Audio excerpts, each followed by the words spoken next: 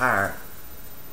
What's up, Facebook world? Once again, um, or YouTube world, or wherever you're looking at me from. Um, this is another particular video. Um, I'm still looking at polynomials. Now, this particular problem I'm going to do is kind of long. So get your pen and paper out um, and be ready. We're dealing with linear factorization of polynomials through complex conjugates. And it's pretty long. If you mess up though, again, it's not a good look. You need to pay attention and work slowly um, with the problem. Alright? Take care of the problem just like it's you and your car, you and your baby or whatnot. You gotta take care and pay close attention to detail. Alright, or it's gonna treat you bad. And we don't want that. So let's look at the problem and go from there. Alright? So the problem asks me I got a complex number, Z, complex number, Z equals 1 minus 2i is a zero of f of x equals 4x to the fourth plus 17x squared plus 14x plus 65. Alright, I need to find the remaining uh, zeros of f of x and write its linear factorization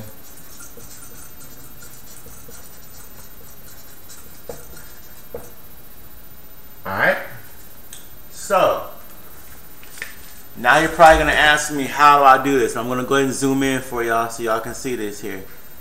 Of course. Alright. So, complex number z equals 1 minus 2i, the 0 of the function f4x to the 4th plus 17x squared plus 14x plus 65. I want to find my remaining zeros of the function and write its linear factorization. So I only I already have one. I need to find all of the other ones. Alright, this is my one zero that I got right there. Okay, so in order for me to do such a thing, what's the first thing you think we gotta do, sir?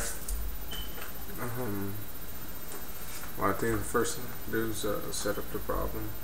Okay, we set up the problem, but how do we do that? What type of division are we gonna use? Long or synthetic? Synthetic. Alright, so we're gonna use synthetic division to figure this out. Now, I have, if it gives me a zero already, it didn't say, you know, um, x equals, um, well, not x equals, but it didn't say something like given zeros are 5, 2, and 3. You know what I mean? Where you have to do like x, if it says plus 2, it's x minus 2 to solve for x. Instead of this, it's going to be 1 plus 2i. I mean, I'm sorry, 1 minus 2i, what's given to us, alright?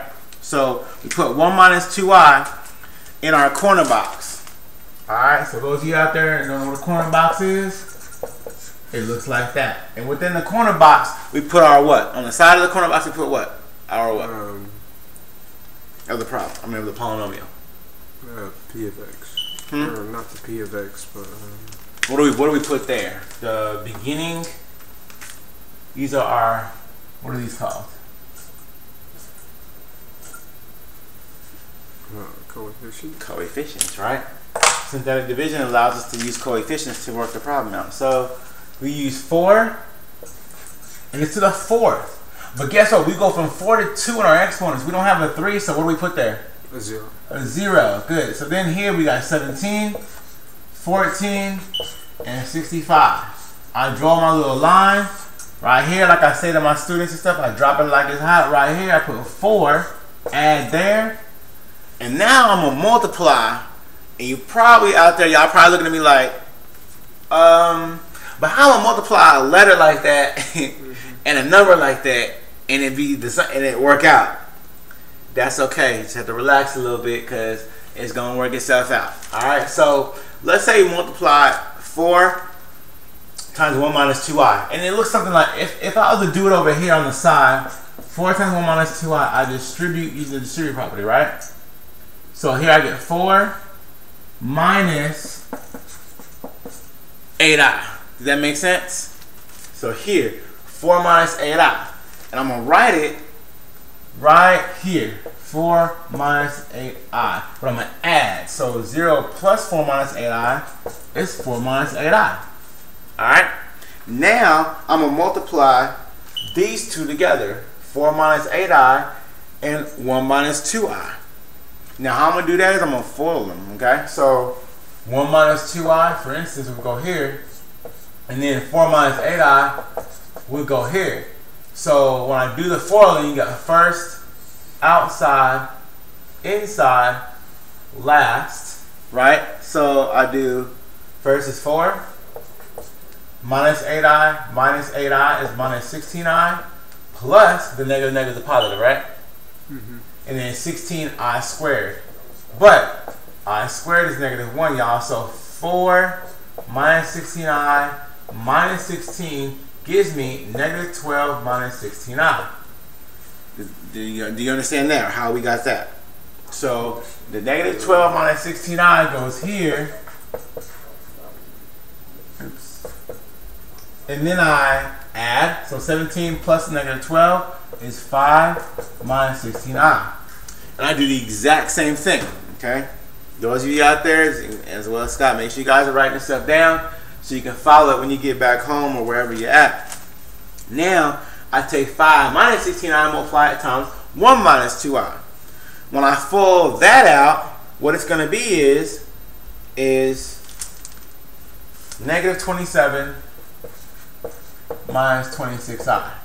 I add 14 plus negative 27, I get negative 13 minus 26i. Then I multiply this out times 1 minus 2i also. So, let's say I do that on the side. 1 minus 2i times 13, negative 13, excuse me, minus 26i, and I FOIL. So first is going to be negative 13 minus 26i plus 26i plus, because negative negative is a positive, 26 times 2 is 52, and i squared is negative 1, so it'll be uh, 52 i squared. Now, this cancels out with that, and I got negative 13, basically, um, plus, I'm sorry, minus 52, because i squared is negative 1, so minus 52 equals a negative 65. So negative 65 goes here, and on the end I have a 0. You see that? So it actually ends up working out to a number if you guys see that. So 65 minus 65 is going to be 0. Now, now that I have that, I'm going to now take the next um, I just proved that 1 minus 2i is in fact a 0 by the fact that I get here. And once we have 0 here, this means that it divides evenly. Alright, that's what I have my kids always say so they know what's going on. It divides evenly. At this point, the conjugate, if this is, if this, I proved that 1 minus 2i is a 0, that automatically means that on complex conjugates, the conjugate of 1 minus 2i is 1 plus 2i, right?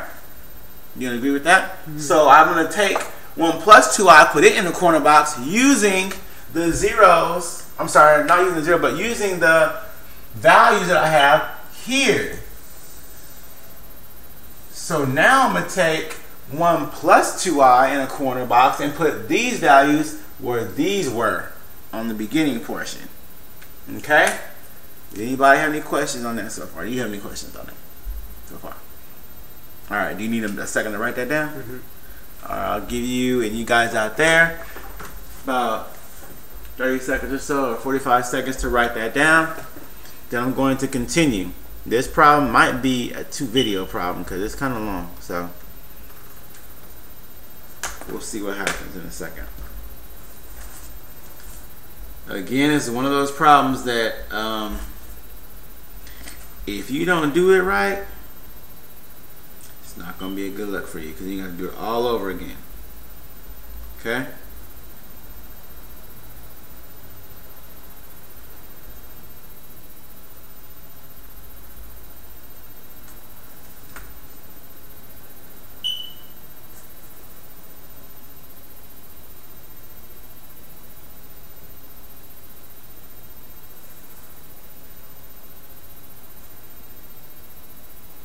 Mm-hmm.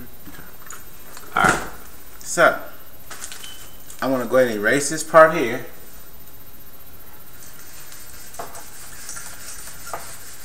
Oh, if you need to write stuff down, of course, you can always pause the video.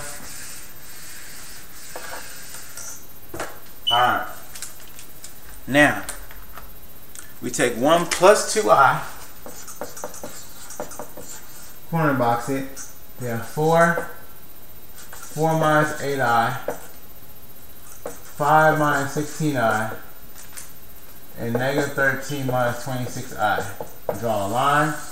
Drop it like it's hot here. 4 plus. We get 4 plus 8i here, right? And when we add it, we're going to get uh, 8 by itself. Multiply this and this together, we're going to still get 8 minus, or I'm sorry, plus 16i. That goes away, so 5 plus 8 is 13.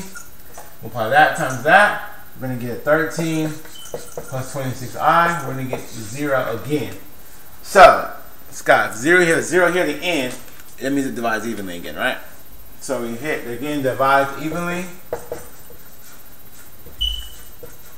And here are is my coefficients, or what I what I normally call my last line. Mm -hmm. All right, um, and I'm gonna get the original equation was 4x to the fourth. I did it one time, that was to the third. I did it again, this is going to be to the squared. So the polynomial that I end up with is 4x squared plus 8x plus 13. I have all pluses, there's no negative signs here, so that's how I get my coefficients of the, of the remaining polynomial. Now as you see, we cannot factor this out directly because no factor of, one, of 13 and 4 gives me an 8 as a middle number. So I'm kind of stuck on that as far as factoring is concerned.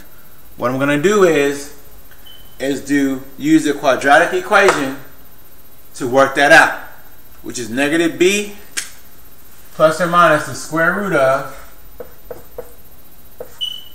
b squared minus 4ac all over 2a.